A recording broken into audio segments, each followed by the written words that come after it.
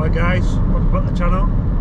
Just on our way to the new site now, which is tight, technical, and absolutely perfect for the Hydradig.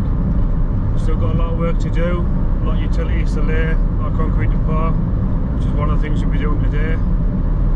Hopefully I can show you how versatile the machine is underneath the steel beam structure and how I'm managing to get some of the concrete poured with the machine. Really on site now, get suited and booted, I'll see it behind the levers.